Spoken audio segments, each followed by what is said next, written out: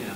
Tho- Those groups that have been around for years and years advocating, we need them accountable here with us.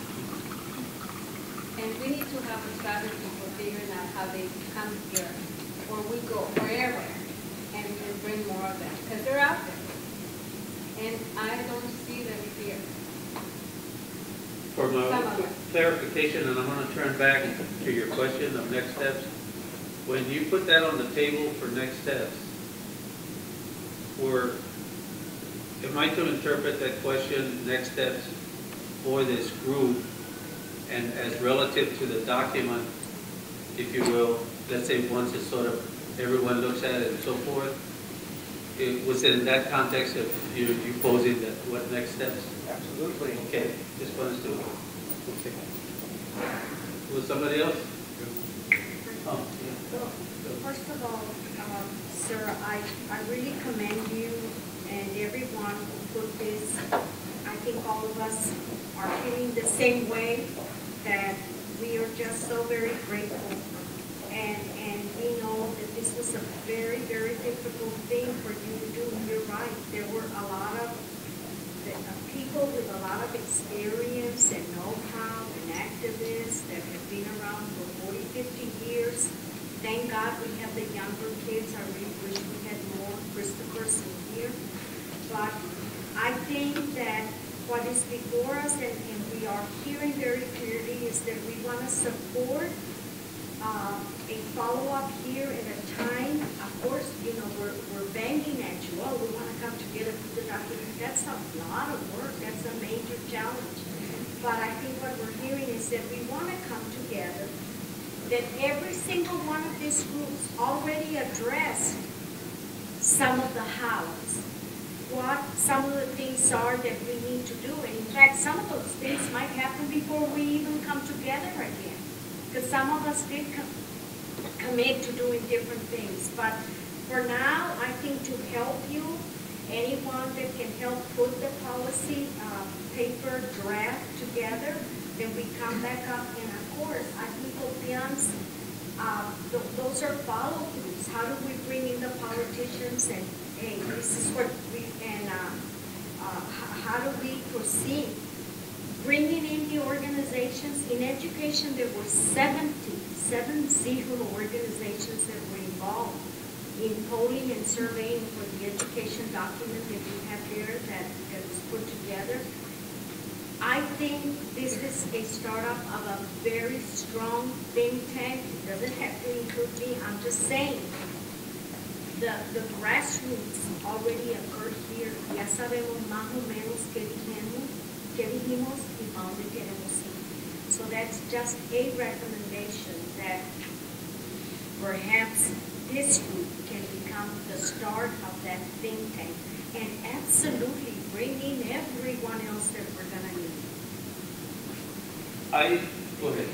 Yes, sir, if I can, I just want to thank you for, for having, having me here with the labor, with the uh, Total Trades Union. And if we can be part of this in any way, um, please include us. I think labor is an important part, not just, I've worked both union and non-union, I've been on both sides of, of, the issue. And I can tell you the benefits of the organized labor and, and, and the bad parts of, of, of uh, organized labor. So if we can be part of that conversation and, and offer our input and, and help in any way, we would, we would be grateful.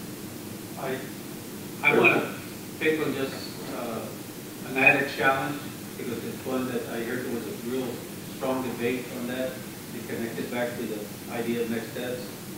You know, in terms of labor, the debate that some folks didn't want to mention union, uh. And, you know, I'll go as far as say, you know, we're, we're- what is that law in the state, in this state? Uh, We're a right to work state, and there's enough studies to show that that's hurt, you know, a large segment of the population and created income inequality. But there's a good portion of people, I suspect in here, that support that as a policy. And we're all entitled to that.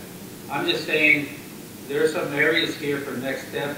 They are long-term because we need to, you know, uh, uh, have the conversations that we don't have a chance to have among each other. So that aside, but I'd like to treat the next step question, folks have kind of mentioned some points, and just because of the way my brain works, uh, like, I want to treat what people suggested as ideas for next step, ¿verdad?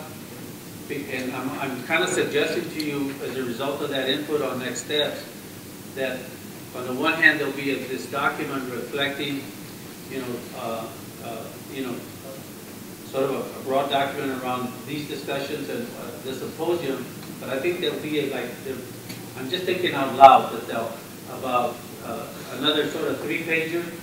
It's just a two or three-pager that says, and reflects those key recommendations for next step, whether a think tank, whether this, whether a stronger organizing, and this is how we do that. You know what I'm saying? In other words, that are, it's a little more like action-oriented, that we want to do, you know, fairly quick. Uh, So, I- it, I- right now, again, I'm just, I'm like you, I'm trying to absorb, there's a lot there, right? And, and I really, really appreciate, because I think uh, the question to the first question, who's going to sort of pull it together? Uh, And, and, you know, of course, yo voy a embarrar aquí el team, you know? ¿Sabes qué? Siempre le digo a este guy, every time I meet him, you know, "Tao, no te corren, you know? You know, because uh, I, I can't, I mean, I can't say enough about the school and, and, and- and Roger and, and Rogelio, I'm not an academician, but I've been involved with academics for thirty years uh, in institutions.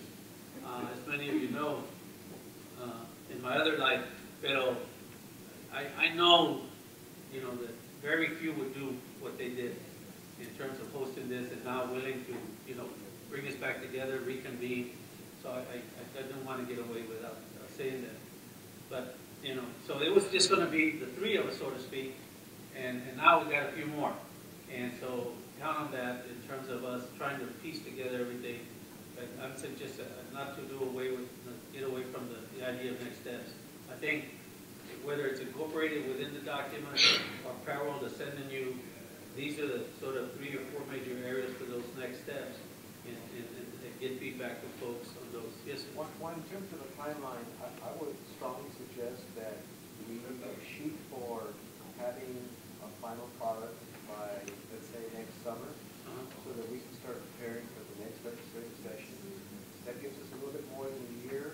It's really not a lot of time, but if we want that document to influence the next legislative session, we need to start, we need to have it by, let's say, June, July, at the latest, next year. Yeah. Yeah, I think we should, I just want to gauge the possibility of doing something either through a Skype or go to meeting.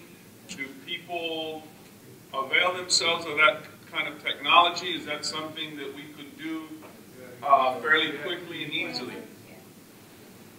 Yes. Okay. All right.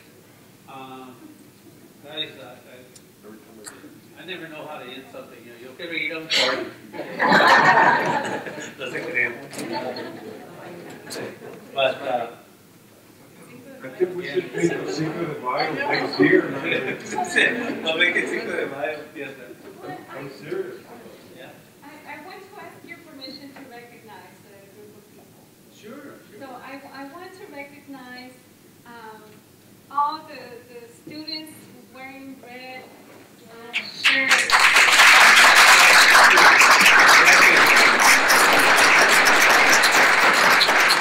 I don't know. No pressure to you, but we are looking to you to continue to carry this work.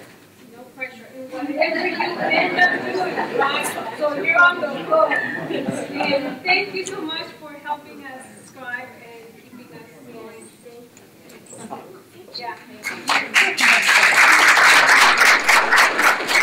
just, uh, any sort of final, One of the things that, that, uh, in terms of getting the document ready and prepared and distribute, uh, you talked about reconvening.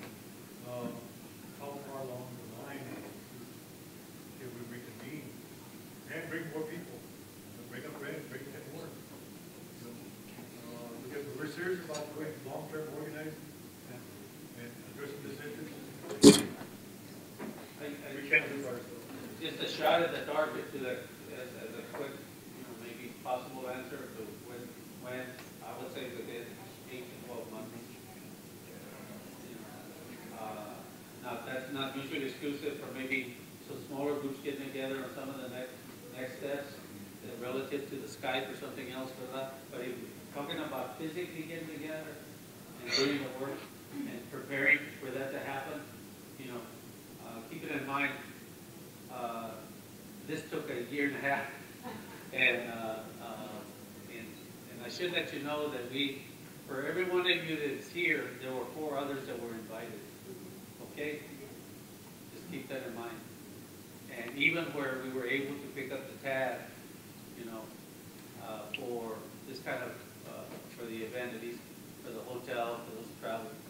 And, uh, I do want to make a last point, if, if to add insult to our challenges, and that is, what about when, when Rogelio and I worked on a, a project two years ago, at least from data, looking from 2000, to 2010 census, the the area of the state that had the highest population growth of Latinos, and that was 65% over the time, the highest of all what we call economic regions, West Texas, uh, Rio Grande Valley, you know, South Texas, you know, the Metroplex, blah, blah, blah, the 11 economic regions of the state.